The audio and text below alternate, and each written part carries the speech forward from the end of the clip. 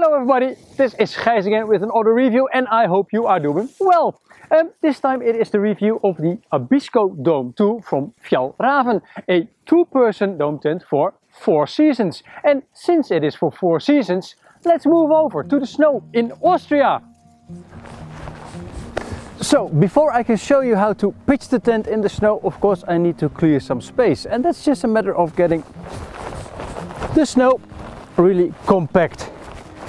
First I do this always with my boots and then I take my mattress and put it on there so that you get a nice flat spot. Well, well this should be big enough. Now let's get the tent and I'll show you exactly what's in the bag. So let's have a look what's inside the stuff bag. Um, a thing that Fjall often does is make a stuff bag where you can put the poles on the outside and they are well basically between the compression steps but then you might lose them if you put your tent on the outside of your backpack. And as you can see there is a little clip here. And then you got the poles. Um, they are DAC Featherlites NSL Greens. I think they are 10 millimeters uh, in thickness. So that's the poles. Then if we go into the bag itself and it's a very easy system just pull and open it um, and there is this very big funnel, tunnel, how you like to call this. Um, this gives a lot of extra space if you want to store, for example, a sleeping bag or maybe um, a ground sheet of floor uh, in this as well. Then the stuff bag itself, I already explained, explained the clip and the compression bag. What I also do like is that there is some sort of a tutorial in there uh, that explains how to pitch a tent and a bit about the materials. Um, and inside, and it's well, it's probably no, not many tent manufacturers do it.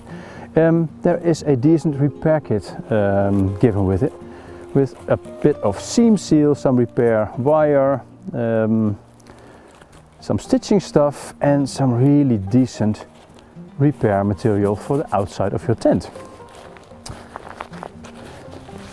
And that goes neatly in here. And it's a super lightweight tent uh, for a four season one. So it's quite good that they give some repair stuff there. So that's the stuff bag. Then the poles, uh, the poles, the pegs. The pegs they are also from DAC and there are 18 of them. The V-shaped ones um, with a little piece of wire on there so you can pull it out of the ground quite easily or you can attach it to something. Uh, as you can see I've been using these in Sweden, there's quite some dirt on it and of course at home in the Netherlands and this is not really the pack for winter snowy conditions but the snow is not that deep uh, so I'll just give it a try and it's totally, um, there's no wind at all so I probably don't even need them. Uh, and then there is of course the tent. In this case I've left the fly sheet and the inner tent um, in one piece because that makes pitching, if you want to do it really quick, way easier. But the good thing is of course that if you want to separate, you can separate both of them. So if you are traveling together and you want to divide the weight um, equal, then you can take uh, the outer or the fly sheet and the inner tent separate. Um, the good thing is you can also remove the inner tent and use it separately. Um, Fjällräven also sells a really nice mesh uh, inner tent for this one to use in summer conditions. But this is a four season tent, um, so I've been using it well, almost all year around. Summer holidays in Sweden it was very very hot uh, but I still use it like this and I pitched the inner tent basically with the poles and a well sort of smart construction I invented myself on the spot but uh, now let's pitch the tent. So and now with this beautiful sun coming I will hurry up and pitch the tent. First where are my pegs? There are my pegs, put that one there, that one there.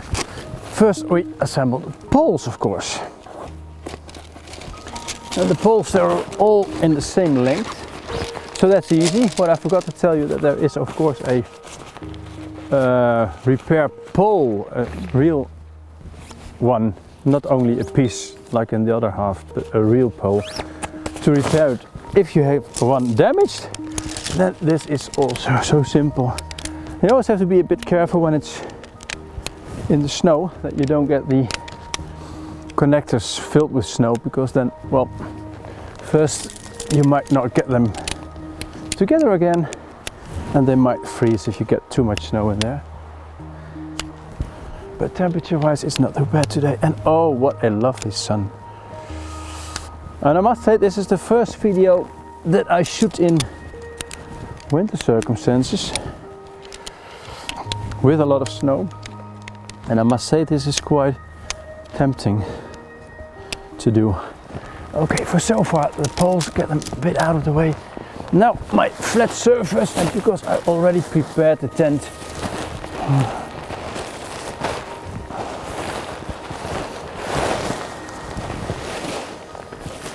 Okay, let's find the one. There is one. Let's get rid of the snow.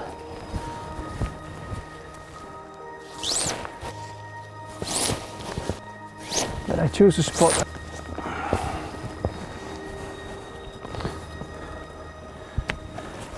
Now let's have a look. Where do I want the entrance?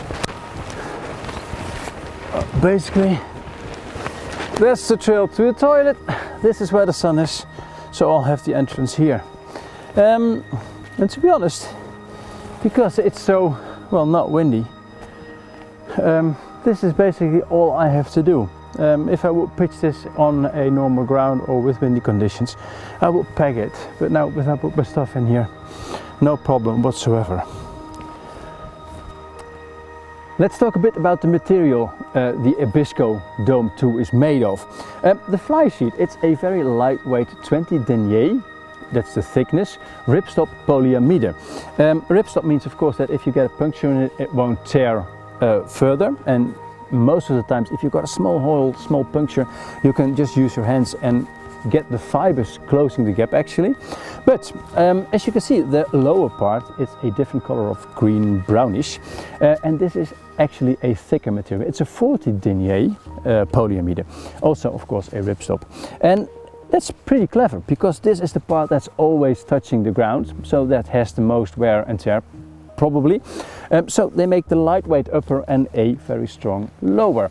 Um, well, in the last year that I've been using this tent, um, I went out hiking one day and my tent was not on a spot like this because there was no snow. In Scandinavia in summer of course, but it was quite similar and I just went out for a day hike and when I came back um, something funny happened because on the other side of the tent um, there are some really nice crawl marks and I can see them also on the inner side of the tent.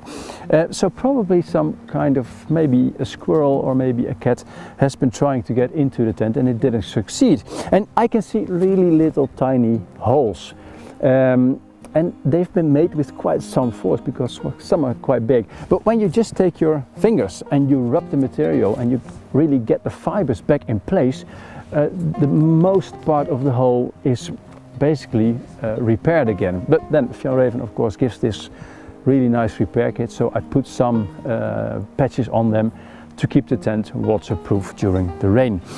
Um, but it's still very very usable. It doesn't really damage the tent. Um, then, well, the inside, um, the inner tent, that's a 50 denier uh, ripstop polyamide.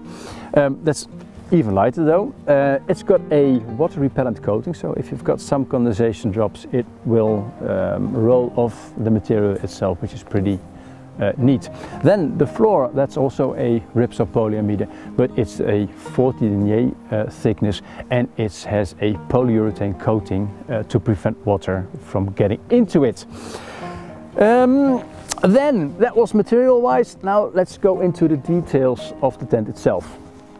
On the top of the veil you can see a sort of head. It's actually a second layer of fabric and that's there for a reason. Let me get this loose and I'll show you what the function is. Um, this is basically the rain protection to the ventilation openings here. You see the mesh uh, triangles, there's one on the other side as well. So now you have with dry weather the possibility to take the head away and get more ventilation from beneath the tent going up like the chimney effect. Um, so this is very clever. You can also see that the poles are running through quite large wide sleeves and that's done for a reason because in winter conditions um, when you expect a lot of snow you know a dome construction is pretty strong by itself but Fjällräven made this so you can put a second set of poles in there also the cup holders at the other end of the of the ends of the poles, they've got two uh, holes to put the second pole in. So you can really make your roof stronger in winter conditions. Um, the pole sleeves are well basically cut in half because this is easier if you want to pitch a tent and they are color coded. So if you do this at night with your headlamp on, you can easily find that this one has to go into that one and you don't make the mistake by getting it in here, which is clever as well. What I also do like is that the cap, because it's not a symmetrical design, um, it needs to be fit in one place. So it's color coded on two of these. They correspond, correspond, correspond together, uh, so it's easy to get it back in place again. And what I like, um, if you've got cold hands or you do this with gloves, because this is quite fiddly, you put the rope in there first and this goes practically by itself. And this is a very good way of dealing with um, design in cold weather. Okay, let's continue. What makes the Abisko a real four-season tent is the fact that all the sides they go really down to the ground and well, here I've buried the lower part a bit in the snow. They're not really snow skirts, but this way it works as well. That's the benefit of, of course, the stronger material uh, there. Like this, you keep the warmth in, the cold out, and this makes it also a bit more wind resistant. Um, wind resistancy is very good on, on the Fjell Dome tents because they have these guidelines with two attachment points. There are two on uh, every pole. Uh, they're very easy to adjust, they're really long, so they divide the forces very well uh, and they are reflective. So if you are out for a wee in the night um, and you have your headlamp, you will see the reflective uh, uh, guidelines so you won't stumble over it.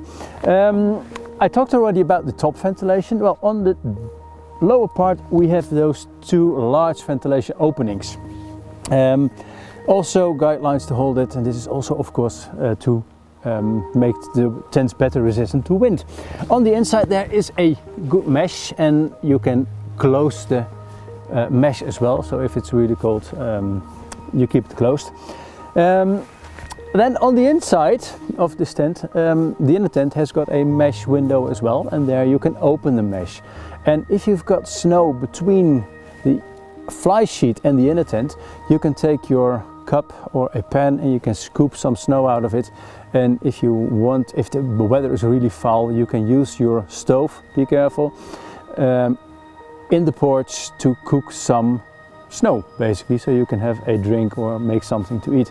Um, that this is not a real expedition tent proves the fact that there is no connection between the inner and the outer tent or a funnel or a tunnel how you call this so you can scoop really from the inner tent directly into the outer tent in the snow. Some um, expedition tents they have here also a big zipper in the in the in the mesh, so you can do that. This one doesn't have that. I see that I have to hurry because my batteries are getting really really fast low empty with this kind of weather um, and I didn't bring a heat pack stupid me the entrance it is being hauled down with a really nice um, fixture that's also very usable when your hands are pretty cold. So that's a Pro. And as you can see on the inside, the inner tent is fixed to the fly sheet with this sort of construction. Um, and what I tried um, in my summer holidays in Scandinavia, when it was really warm, is just to pitch the tent using these loops and the existing poles, not buying really the um, extra set from Fjell. And well, as long as you can put your poles into the ground, um, this works as well. So you can use the inner tent solo without basically paying anything extra. Um, so that's a good feature. Then let's get into the tent itself. Um, one thing is, uh, and I didn't mention this I think, it, this is a freestanding dome, most of them are. Uh, and that's pretty easy because I can just take the tent and put it somewhere else. So if I discover that my, my mattress is lying on a rock, just pick up the tent if you didn't peg it down yet and place it somewhere else. But because this um, dome construction in this in this respect, um, the tent has got all these wires. And there's one and there goes one under the tent. That's just to get the poles in the right shape. Um, this is something you have to be aware of because if you accidentally took the inner tent out for what reason whatsoever and it's dark and you want to pitch the tent quite fast, you can make quite a lot of mistakes um, with these ropes. So be careful with this. Um, it is also, I've discovered, well, a sort of a um, tripwire if you're not really careful. But hey, if you want a freestanding dome tent, this is in this case how it's done. Okay, now let's get into um, the details of the inner tent, the living space. As you can see, the porch, uh, this is about 80, 85 centimeters. That's what I measured depending on how much you stretch it. Um, this is space enough for uh, a large backpack on both sides because it's a totally symmetrical tent in this, this respect. Uh, so there's storage for bike panniers, backpacks, that kind of stuff. And it's even quite good if the weather is really foul to um, use a cooker in here uh, but don't use that one because it's pretty high with that kind of gas at the moment. So use a low one and be very careful of course if you do this in a tent. What I do like is that the uh, flooring is high, especially when you're well in snowy conditions or in, in wetlands. Uh, it's about if the, the, the, the, surface is totally level, the height uh, of the bathtub construction is about 14 centimeters and that's high enough for most wet uh, conditions. So that's a pro. Now, let's get in. Okay, I'm not going to be bothered with uh, getting my shoes off because I need to be outdoors anyway and I don't want to get my feet wet. Um, as you can see, it's quite a large inner tent. The width is 130 centimeters, so that's big enough for two adults that are not too small. Then the length is 220 centimeters, so that's quite good as well. Um, if you're a tall person, this is really a tent for you. Um, because it's a symmetrical tent, there is one door on this side and there's another door on this side. And I will show you that, of course, behind the there is always a two-way zipper. Uh, when you open the first door, you can see there is mesh to keep the mosquitoes out. And if I open this one, well, I'm into the second porch, which is good because if there are two of you, then if one wants to go to the toilet, well, the left one goes that side and the other one goes that side. That's convenient. Um, the height of the inner tent is uh, about a meter but there is a small, nice gear loft in there, so that limits your headspace a bit down to 90 centimeters, depending on what you put into it. For me, this is always my perfect storage uh, space for my socks. If I've been walking the whole day, they're always a bit slightly damp. That's a really nice spot to um, let them dry and it's detachable as well so that's also a pro then um, as I mentioned from the outside this was the ventilation that I was talking about you can see the mesh and there is the cover with a zipper. So if I don't want the cold uh, to enter the tent or the warm to leave the tent, I can close this one as well. But I can also, uh, let me try it this way, open the mesh. And this is what I meant. If I take my cup now, I can um, scoop some snow and I can do it there for cooking. But now, let's close it. Oh, that was the different zipper. And if the camera moves, that's because it's on the ground of the sheet and I see that the snow is kind of moving a bit. Um, well, there is on every corner, and that's probably the last thing I can say about the inner tent. Uh, every corner, like here, has a point where you can, did you see that? Where you can store stuff. Uh, in my case, it's always my glasses. So it's also quite well equipped. And I don't know if you, if I can show this. Let me get the GoPro and I'll try to make this clear to you. Because when I was talking about those animal feet, you see that it's been climbing from here to there to there and it went totally over the tent. Nothing to be done, but that's the big benefit of a let's put it there.